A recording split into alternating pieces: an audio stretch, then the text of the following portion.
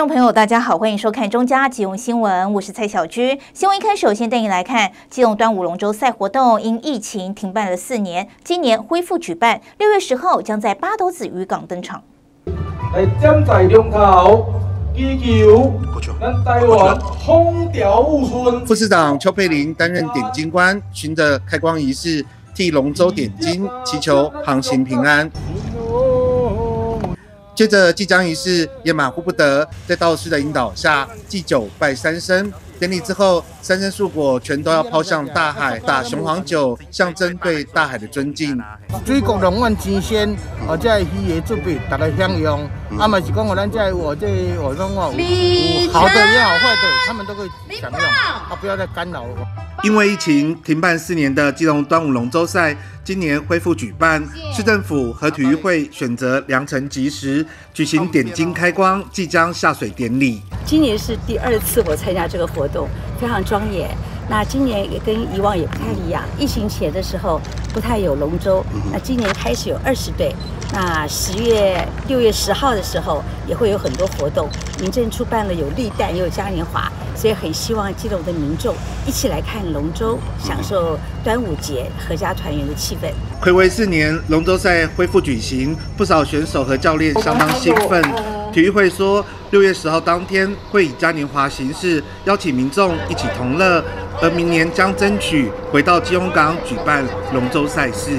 在国中的时候有参加过全中运，然后已经有四年没有滑了，很开心在毕业前还能够有机会再滑一次，还蛮期待这次的比赛。这是端午龙舟呢，这是一个传统的传统的一个赛事哦。然后我们学校八斗高中呢都会来参与这个比赛，往年的时候有参加的时候，我们都得到很好的成绩。嗯，对。啊，选手们呢，给学生们也都非常的期待，说，哎哎，这个比赛。对，然后这也可以让他们在高中生涯当中呢，是一个完美的一个回忆。疫情啊，休息了好几年，今年重新办，虽然场面没有以前那那那么热络，可是慢慢办就开始。我们也有跟市长建议啊，明年可以改造基隆港，就是我们海洋广场前面那个横的，不会影响到我们的水道，而且那地方啊知名度高，外县市要来看也可以。我们基隆港赛龙舟，我们以前在基隆港也办过两次，希望说在市政府还有港务局跟议会大力协助下。今年基隆龙舟赛总计有二十支队伍报名参赛，当天还有立弹及表演活动，欢迎民众来到基隆参加全台唯一的海上龙舟赛，一起看龙舟庆端午。记者黄少明基隆报道。一百一十三年基隆市运动会在地内国小登场，参加开幕式的五十三个单位及团体，约三千名选手及教练，大家切磋交流，增进情谊，共同推广全民运动的风气。每年基隆市运动会上的趣味竞赛总是欢声雷动，今年登场的叠杯接力赛，考验各队的速度、反应及团结力。我觉得这可以加紧哦，跟同事之间呢一些呃私底下的友情，很有趣的这个生活休闲活动，增加友情还能凝聚团结力。另外，在馆内登场的千人齐聚武艺观摩表演也是阵势惊人。首先登场的太极拳，只要愿意动，就可以像这位爷爷一样。我现在年九十岁，要喝就要动，啊，能动呢就能够长寿。每一个团队呢都是很棒的团队，都会让我们身心健康，而且让我们永葆青春。最重要的是，让我们呃这个大家都很健康，就是要让身体健康。一百一十三年基隆市运动会开幕仪式在定内国小登场，各机关团体的运动员进场，场面盛大。今天很高兴来到基隆市政府所举办的同仁的运动会，很多局处首长、多议员，大家都共同参加。希望大家今天有一个非常畅快的比赛的一天，流很多汗，非常的健康。鼓励大家用运动追求健康。幕后推手是基隆市体育会理事长郑锦洲。细数历年来的参赛人数，今年更是向上突破。我们这个活动是从民国八十年林水木市长第二届的时候开始，从仁爱国小办第一届到现在，参加人口数也从七个单位到今天。五十四个单位还没有包括今天没有进场的球类，有将近四千多了。因为我们基隆是在运动二台湾二点里面连续六年获得教育部特优的运动人口倍增的最多参与的人口数。我们非常谢谢我们小爱爸爸市长大力支持我们的运动和台湾及运动，让我们的人多多运动，身体会健康。就是希望大家活跃身体机能。赛事分布暖暖区，其中竞争激烈的篮球赛事在定内国中登场。好，我们现在看到的是信义区跟七堵区的一场精彩的篮球赛的现场。我们非常感谢定内国中给我们提供呃非常完善的场地，让我们这次全国运动会里面篮球比赛能够在这么棒的场地里面让球员来呃顺利发挥他们的水准。我们大家可以精彩期待。精彩可期的还有慢速垒球，去年冠军的安乐区力拼三连霸。非常高兴各区来到我们暖暖运动竞赛。去年那个安乐拿的总锦标哈，我们尽量就把三连霸留给安乐区体育会。各赛事都很活跃，前来参与开幕式的贵宾众多，给予满满的肯定，也表示会继续为基隆体育的软硬体建设尽心力。我们可以看到，我们运动的人人口蛮多的，那也希望我们中央能够多多给我们地方来啊，挹注一些经费，让我们呢多多办一些活动，有益身体健康。我记得我们做过调查，我们基隆市的运动。我们运基隆市愿意运动的人，他们平均运动的时间是高出于我们全台湾的平均，高出差不多百分之三十。但是我们的运动的场所，其实我们有很很大的改善空间。所以佩祥在这边会积极跟我们基隆市政府，还有基隆市议会，然后跟我们基隆市体育会一起合作，打造一个帮我们基隆市变成一个更好的运动环境。基隆市运动会每年都是机关同仁间的交流联谊，透过趣味竞赛及球类运动放松身心。社会体育活动从年头到年尾，内容都可以上基隆市运动爱台湾的粉丝专业查询。记者蔡小军，基隆报道。另外，这项运动会的球类竞赛圆满落幕，颁奖典礼在北都大饭店举行，最高荣誉总锦标由安乐区体育会拿下冠军。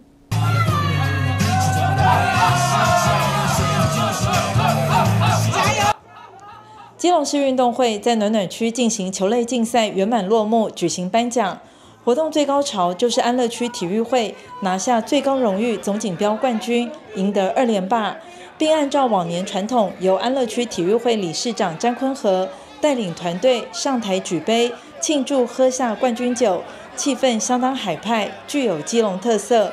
市长谢国良亲临现场颁奖，肯定基隆选手的奋战精神。也感谢基隆市体育会理事长郑锦洲努力推广全民运动，带动基隆的运动风气。而现场民众也不断为小爱爸爸谢国良加油，让市长很感动。非常谢谢大家，我看大家都给我很多鼓励，我也非常的感谢。我们就是要让基隆啊，未来有更多国内外的观光旅客，然后呢，要让这个城市越进步越有爱，越干净。那当然，我有。毕竟新手让路，还有很多要努力的地方。我会继续的好好的检讨过去应该要做的更好的地方，继续努力。也请在座体育会、体育界的先进继续支持小爱爸爸，大家说好不好？好，谢谢谢谢各位体育伙伴，市场最支持体育的，我们大家给市长加油，好不好？好，给市长加油。加油，谢国良！加油，国亮国良国良！加油加油加油！市长谢国良也逐桌跟选手们致敬，获得许多加油跟鼓励。加油加油加油加油加油！还有年轻选手要求跟市长一起合影拍照打卡，现场的加油鼓励让市长感到温馨满满。市长加油！加油！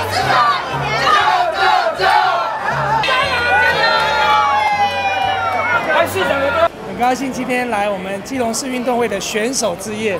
每一次选手之夜，在这个大家的这个啊一起努力之下哈，那个喝啤酒的比赛哈，都让我们觉得非常的呃呃精彩。然后呢，但是这个也激发出选手的斗志，就是白天运动比赛也有斗志。但是晚上这个晚宴也有他的这个大家的这种团结的气势，所以我们真的觉得非常棒。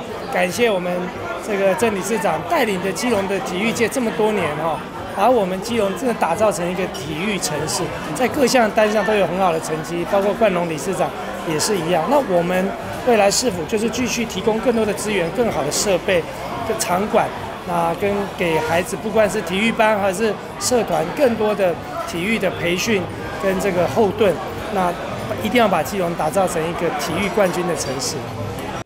活动现场贵宾云集，包括议长秘书杨文和及担任桌球主委的曾纪言、锤球主委的秦真议员和中正区体育会理事长的张浩瀚议员都到场，亲自颁奖给男子桌球、女子桌球、锤球、保龄球、篮球和慢速垒球前四名。有四千人的，越办规模越大，因为今天老天爷帮忙了，好天气到中午才下雨。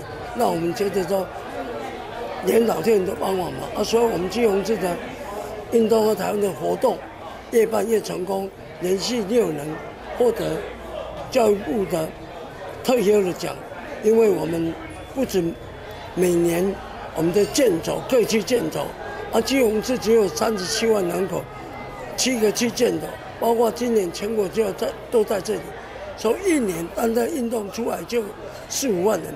平均基隆市人口是，所以我们基隆的运动人口是最多的哦。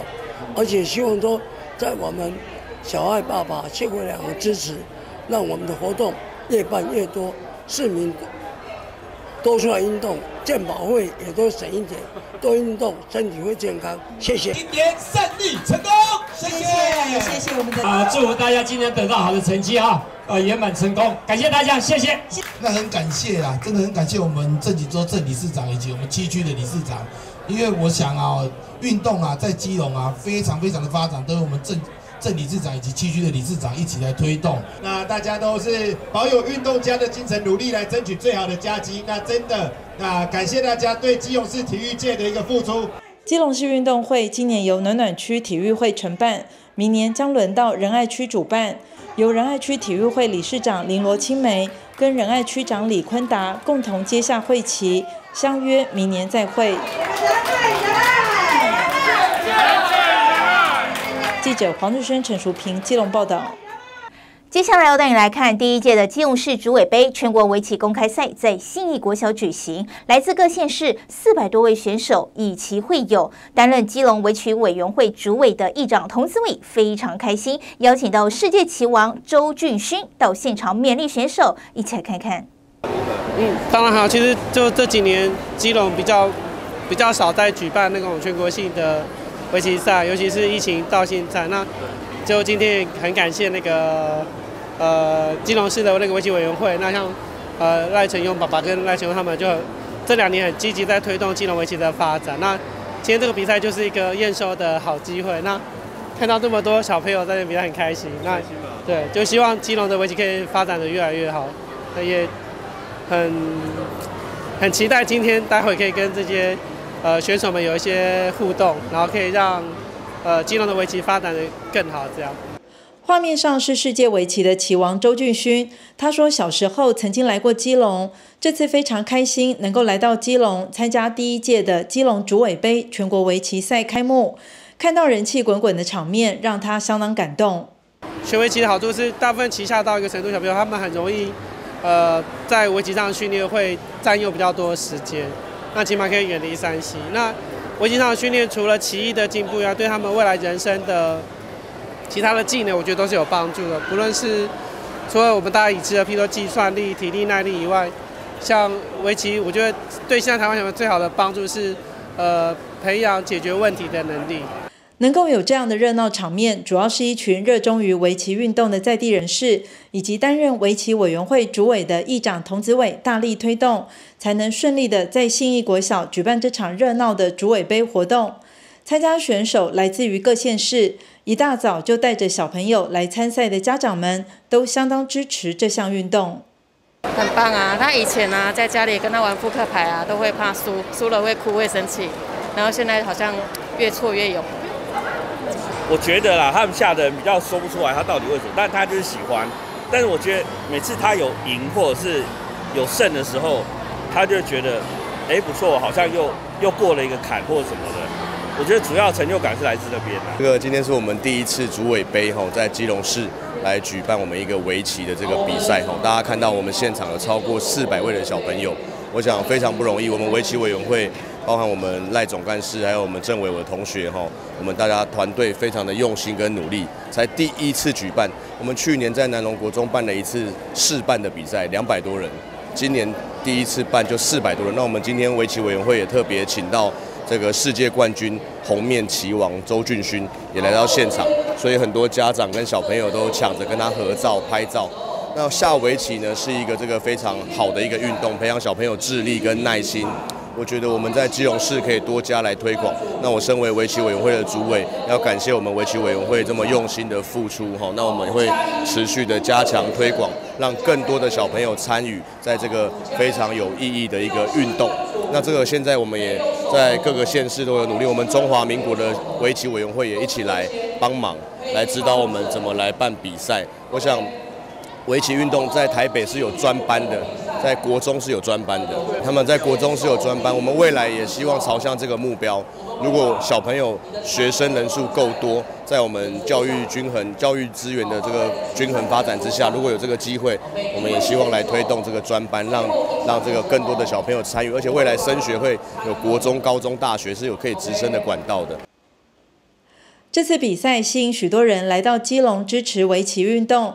有围棋专班的国中生整班来参加，还有许多幼稚园的小朋友也来参加新手组的比赛。大家齐聚一堂，展现奇艺与智慧。透过比赛，让这个传统的优良文化特色能够继续传承下去。记者黄日升、陈淑平，基隆报道。另外，非常喜欢篮球运动的一长童滋味，也特地到市立体育馆关心规划整修的计划和项目，期盼在整修完成后，可以招募职业篮球队进驻基隆。强力灌篮，这是去年十月 PLG 高雄钢铁人队在基隆市立体育馆挥汗练球和其他队伍进行热身赛的情况。未来会不会有职业篮球队进驻基隆呢？就要看接下来市立体育馆即将耗资四千多万元整修完的情况。我想我们今年的积极在争取预算，包含跟中央体育署争取三千三百万的预算，还有我们自己市政府最佳预算来来来编列一千一百多哈，大概合同大概四千四百多万左右。那后续如果那个预算通过的话，后续我们遇到采购法，吼，大概会办理一个设计的一个评选。但今年度重点会放在设计这部分，哦，那因为我们场馆使用率很高，哈，所以说预计我们明年施工也会跟各位讲，这部分大概会先有一个暂停，哦。然后整个来做一个施工，哈，基隆市政府向中央争取，加上市政府自筹，总共四千多万元，将要整修市立体育馆。本身就非常喜欢篮球运动的基隆市议会议长童子伟，特地到现场会勘，关心规划整修的计划和项目，期盼在整修完成后，未来可以招募职业篮球队进驻基隆。像我们去年到今年，哈，我担任议长之后。陆续招募了这个我们 PLG 的高雄钢铁人来我们体育馆打热身赛，然后今年也特别招募了这个 SBL 来到基隆，也打了两周的一个循环比赛哈。那我想我们从小到大对这个体育馆有非常深厚的感情。过去在中华直男的时代，我们体育馆是幸福豹队的主场，那个时候我就常常来看篮球比赛。好，那时候洪国相啊、战神啊、玉龙来，我基本上。假日的时间都在这个球馆生活。篮球跟棒球是不同的，我们篮球场馆就必须用职业水准的赛事的要求来做我们场馆的一些设施基本。譬如说，我们要有球员休息区，要有裁判休息室，要有我们这个观众席要现代化的观众席，至少要有自杯架吧。我们现在这个旧有的空间是五千九百个座位，改造完大概还会有四千七、四千八。我觉得还是符合赛事的标准的哈。那我们在整个厕所的动线，我们二楼看台区的厕所也都会在这一次的这个经费里面做更新，包含我们的这个漏水的问题，一定一并一并会改善。那最重要的职业水准，他们职业球队来看，他们会看到灯光，灯光我们其实现在的场馆也不符合职业赛事的标准，所以在这一次的总经费里面会做一些总体基础设施的改善。让职业球队来这边比赛是符合标准的。那我们在观众席的设置、球员区动线的分开，我想我都特别提醒柏树厂长。那我也谢谢我们柏树厂长都如此的用心。我们希望在今年这样的经费改造之后，我们未来绝对有能力可以来招募职业球队进驻基隆。其实不止篮球，包括全国少年跆拳道锦标赛，最近也是利用市立体育馆热闹举行。议长童子伟和基隆市得奖选手以及教练开心合影，也希望整修完成后的体育馆，未来举办各种赛事都能够让来这里观赛的民众和选手们，可以有一个更舒适且安全的场地。记者吴俊松基隆报道。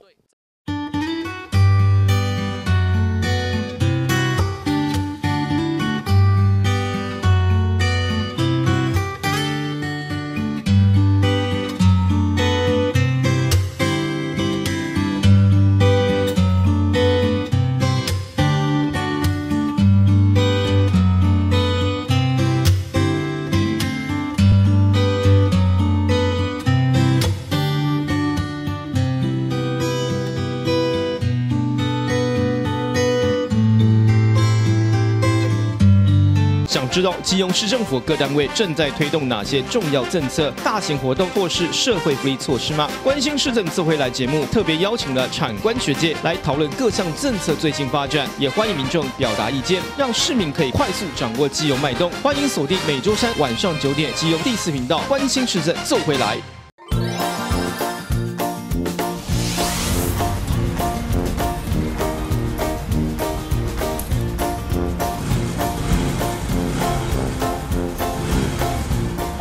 哦，都停满了，那随便停好了。先生，你这样停车违规哦。汽车停放合法骑楼停车空间只能有一列，并且停车方向必须垂直道路。另外，必须保持一点三公尺的行人空间，这样才可以兼顾到机车族停车以及行人通行的权益。行行，快点快点。另外，地上贴有脚丫子的绿色地贴，禁止停车，警方会严格取缔。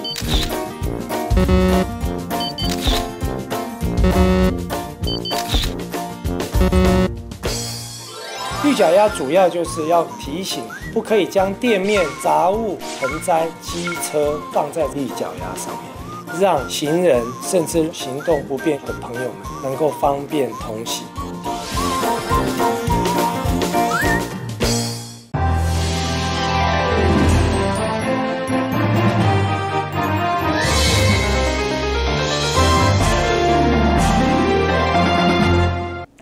欢迎回到新闻现场。由于身障与罕病患者看牙医，往往需要专业医师与舒眠、麻醉等设施来协助。市长谢国良相当关心家属的需求，特别请卫生局提出计划。如果市议会顺利通过预算，将在下半年协助身障与罕病患者顺利看牙，打造基隆友善特需牙医诊疗。基隆市卫生局长张贤正跟政策推广大使杨宝珍及基隆市牙医师工会一起宣布，基隆将针对身障跟罕病患者推动牙科医疗服务计划。参与记者会的特殊教育学校家长会代表相当感谢市长谢国良了解他们的需求，设法来协助解决特殊需求者看牙科的困扰。其实我要感谢那个市长啊，对我们特殊的这个。家庭以及家长的那个所说的需求都尽力在帮我们。其实我们家长只希望说，在基隆这边的一些基层的医院里面，有一个专门是给身心障碍的小孩子看，或是身心障碍的大人们可以看的。因为我们的孩子需要束缚，不然有时候情绪躁动或者是干嘛。当如果他需要拔牙的时候，他没办法配合的时候，就需要麻醉师。可是，在基隆的基层的医院是基本上是没有看到的。那家长就必须要带到台大医院或者是双河医院，因为那边基本上才会有我们要的需求。好，因为其实我们有做过一个估算哦，就是在全基隆市有这些特殊需求者，大概是有一万三千七百人。那如果是其中需要可能有这种所谓的打镇定剂啊等等这样子的一些呃可能看牙的需求的这些人次的话，大概是一千两百人次哦。所以其实这真的是一个非常需要被关怀，然后需要被注意到的一个部分。那所以我觉得刚刚透过不管是局长。长也好，或是呃蔡理事长，然后彭副会长他们所做的一个分享，我们真的认为这个计划非常需要赶快尽快来做一个推动，能够让不管是儿童或是让一些长辈，他们们能够有这些特殊需求的人都能够尽快的来受到这些更友善，然后更有爱的这些设备，然后跟这个设施，还有所谓的医疗人力的一个照顾。谢国良市长一向都会关注到我们特殊需求的照顾的需求，那包括特殊需求者的牙医也是市长很关心，带着我们卫生局关注到特殊需求者的牙医需求，包括我们的儿童，也包括我们呃失能失智身心障碍者的引发长辈，那他们在看牙的时候确实都有不方便，在这些。对象他们的牙医没有被满足，所以我们推出了今天这样子的计划。这个计划在六月中如果得到议会的支持跟通过，我们会在七月初把计划征求，那公开上网，那也会鼓励我们基隆市的医院或诊所来做申请。依照医院现况，软硬体的设备可能需要。几个月的时间做准备，但是我们一定有信心会在今年底之前把这样的服务提供上线。那在还没有完全完备之前，会把呃既有的诊疗跟转诊到台北的特需中心的绿色通道，也会在这个过程中也做建制。基隆市卫生局表示，将在议会期间提出这项服务计划，如果预算顺利通过，将尽速在下半年推动实施。让特殊需求患者能够安心顺利的进行牙科治疗。记者黄日升、陈淑平基隆报道。根据目前汇流新闻网的汇流民调显示，基隆二八八定期票上线满半年破三万人次使用，让民众很有感，满意度超过六成。平均可帮通勤族省下一半交通费的基隆二八八定期票持续热卖。基隆市政府交通处统计，上线满半年，累计超过三万人次购买。而市府推的这项交通政策，根据汇流新闻网汇流民调显示，满意度超过六成。我们谢市长去年在十月十六号正式推出我们基隆市。二八八一个月票，哈，就是说我们三十天内在我们基隆市坐公车以及火车只要两百八十八元。自从推出以后啊，获得非常市民好的一个评价，每个月有将近五千多人来使用这个月票，啊，而且每个月持续有成长。那我们在公共运输上面，我们就成长将近有十 percent。好，那整个的一个效益的部分，到现阶段已经有三万多人，将近四万的一个人次使用我们二八八月票。我们也是透过民调公司去了解，基本上大家对这个政策推出都是非常高的评价。哈，民调有将近有七成哈是针对我们二八八是属于满意一个政策。基隆二八八定期票除了帮市民朋友节省交通费，也提升了民众搭乘大众运输的意愿。达到节能减碳的目的。月票公共运输推出，就是行政院希望透过哈一个节能减碳以及减少私人运具，就是尽量少骑摩托车，多做所谓的一个客运，哦，推出一个政策。所以现阶段我们基隆市政府推这个政策，哦，加上我们基北北桃一二零零月票来实施，对整个节能减碳哦是有帮助。那重点是来。减轻哦，我们通勤通学组一个交通费的一个负担。记者黄瑞生、陈淑平，基隆报道。以上就是今天的中嘉新闻，非常感谢您的收看，我是蔡小军，祝您一切平安，我们再会。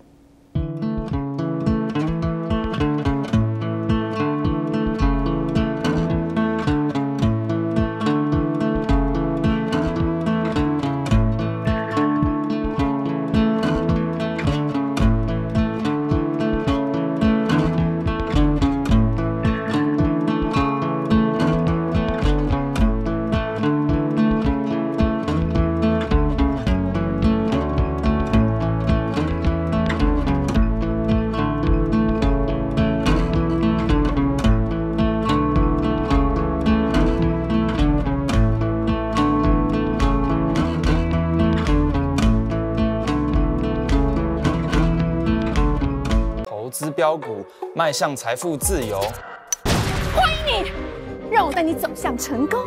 哦，跟着老师就赚了十万哦！我刚赚到人生第一桶金了，注意，这边。有个新的投资标的，五十万包你吧，只有十个名额。我要加。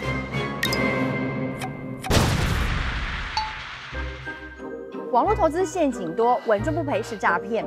欢迎拨打一六五反诈骗专线查询。